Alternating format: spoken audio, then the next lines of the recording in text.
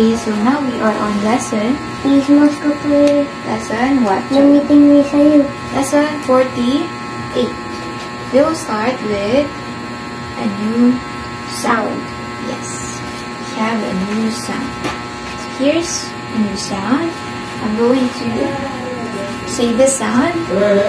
It's P. As in Patricia. Right? Diba? Ikaw? Patricia. Okay. Next, let's do task number two. It's sounds review. Okay, so take a good look at each sound. Say it slowly if you can. Say it fast if you must. Okay, don't get fooled. Ready?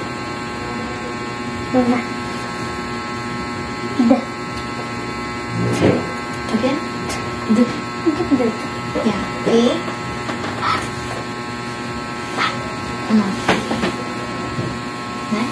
Let's do task number Boy. three. Let's do task number three. Baba ang paa. Word reading. So, sound it out first. G. Oh.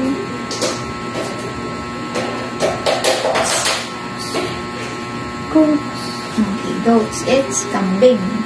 Next. Oh.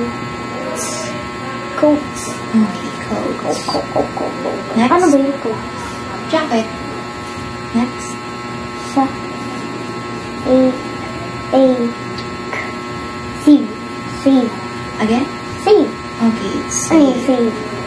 ipon. Eto.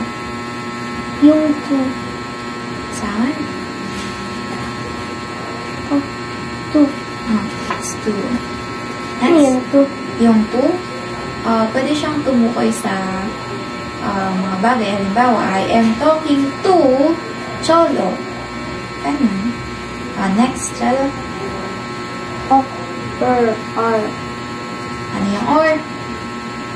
Tanong ba ni or? Yung or, pagka may option ka, halimbawa, I I want Ito. ice cream. Isa R to. Yan, very good. Very good. very good. Piso or? Do. Two? Ah, sige. Two pesos. Okay. Yun ang kukuhanin mo sa dalawa? Yan, very good option. Okay, next. Four. Oh. Four. Four. Four. Four. Okay, next. Ah. Hats. Hats. Hats. Sombrero. How about, okay, wait lang.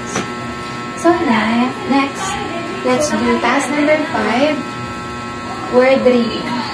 Okay, so next, let's do task number five, word reading. But this time, we don't have balls under because you have to read, uh, to say the words as it is. Okay, you don't have to sound it out. You may sound it out, but just in your head. Don't voice it out anymore. Just tell me what word, okay? What word is this? Was. Again? Was. Okay. Lalabas ako sa ulan. Okay, about this? Oh. Cold. Cold. Cold. Again? Cold. Cold. Sad. Make. What? Make. Make. Sucks. Sucks. What is sucks? Success. Success. How about this?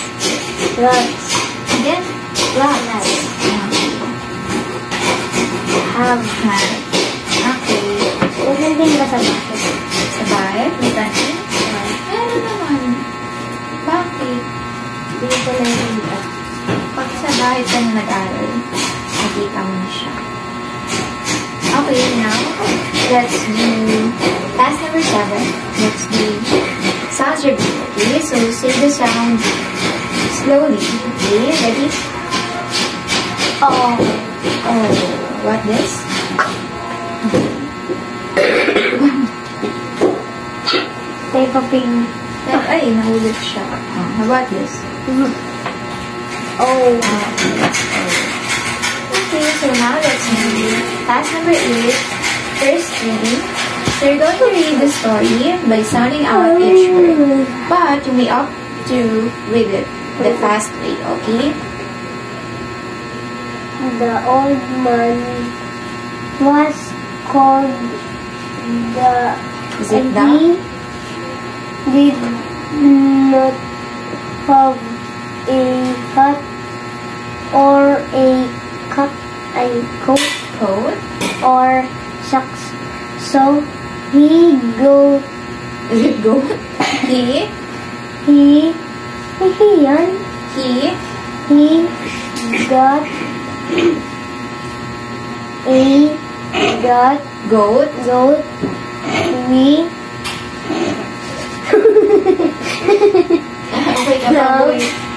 Food Oh. for Hat. and Coat. coat and. Now the old man is not cold and the goat is not cold. Okay, good. So, task number nine, second reading. So, how did he feel? Cholo, how did he feel? How did he feel? How does the old man feel?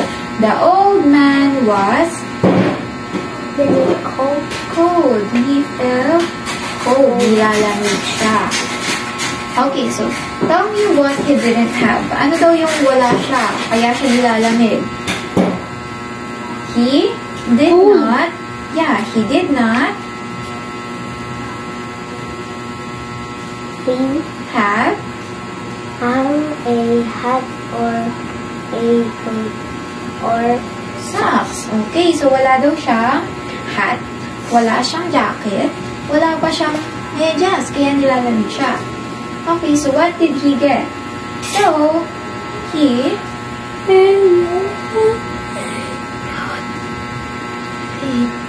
got a hat and coats and socks. Okay. So, kinuha daw niya sa kambing yung maraming hats and Meron coats. Bang Hindi. Gamit yung, ano, balbo ng goats. Okay, so, hats, coats, tsaka medyas. Okay. So, is the old man cold now? Na, nilalamig pa ba siya kung meron siyang hats, meron siyang jacket, meron na siyang medyas? Din. No. So, is the goat cold now? Sino na yung nilalamig ngayon kung hindi na yung old man? Yung goat? goat. Okay. So, let's move on to our next task. Let's do picture comprehension. Look at this goat. the goat has a hat and a coat and a medyas. Right? Okay, so show me the goat's hats. Nasaan daw yung hat ng goat? Hindi mo sa may suwan. Pa, buto siguro. Siguro. Maybe. So, show me where the coat, the goat's coat is. Nasaan yung coat? Jacket. Okay. So, where is the goat's socks? Medyas? Okay. So, why is that goat giving the old man a coat? Bakit daw binibigay sa kanya nung, bakit kaya binibigay nung kambing yung coat niya dito sa matanda? Kasi, Nilalamig. nilalamig ng matanda. Okay, so, what would you do if you were that goat? Halimbawa, ikaw daw tong goat. Chalo, ikaw daw. Ikaw daw to. Ano gagawin mo kung meron halimbawa ako nilalamig ako? Ano gagawin mo? Ibigyan mo ko ng ng ano? Jacket, tsaka ano pa? Hat? Ano pa? Medyas. Very good. So let's now move on with our task number 11. Let's do sounds right. We're almost done. Ano, ano dito? Okay. Ay, sorry. What sound is this again? It's U sound. So here's how we write that sound. Okay, so pahilis. Another pahilis. Pahilis. One zigzag. Yeah. It looks like a zigzag. Right? Pa M. It could be an M too. a zigzag and W or an And, M. bundok ko yung L. Okay. Kabundukan. That's how we write this sound, okay? Now, I want you to write this on your own. Ano? On your own now. You're on your own now. So, what sound is this again? It's ooh sound. Next, we're not yet done. We have another letter pa. We have another sound, right? You're excited to go home. Excited to go home, Cholo. Ah, di okay, how about this? Okay, it's um, Here's how we write that sound. But, uh, two pahiles na line, they should meet and in the middle. Now, write this on your own. Ah, I put another one para six na yung lines. Okay, what sound is that? Para siyang chick. What sound is this? Hmm. Okay, mm, very good. That's all for today.